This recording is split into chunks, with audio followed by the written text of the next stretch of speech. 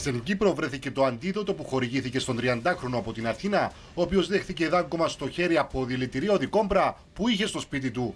Το σωτήριο αντίδοτο δεν βρισκόταν πουθενά σε κανένα ελληνικό νοσοκομείο. Οι προσπάθειες εντοπισμού του παρέμειναν άκαρπες, μέχρι ότου εκεί του 30χρονου και οι υπεύθυνοι του νοσοκομείου Άγιος Σάβας, όπου μεταφέρθηκε ο νεαρός, επικοινώνησαν με το ερπετολογικό κέντρο του Γιάννη Αγγέλη στη Λέμεσο. Ε, είχα μια τηλεφωνική ε, συνεννόηση μαζί με το νοσοκομείο, οπότε μου είχαν ενημερωθεί θα ξεκινούσε η ιδιωτική πτήση να έρθει. Πήγα στη Λάρμεγα, τους παρέδωσα τους αντιοφυγούς ε, για να πάει το συντομότερο, γιατί καταλαβαίνετε ήταν και αργά το βράδυ. Αμέσως στήθηκε επιχείρηση για την εσπεσμένη μεταφορά του όρου στην Ελλάδα με εναυλωμένη πτήση.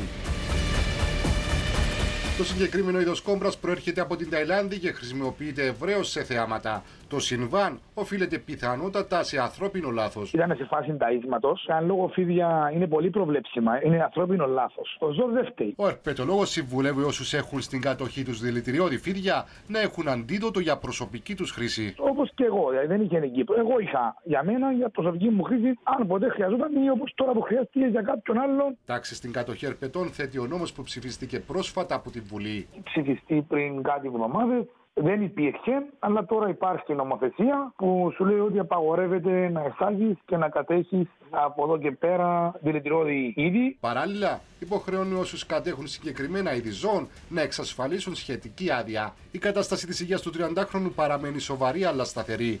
Βρίσκεται σε καταστολή με τους επικαθήκον ιατρούς να εκφράζουν συγκρατημένη αισιοδοξία ότι θα ξεπεράσει τον κινδυνό.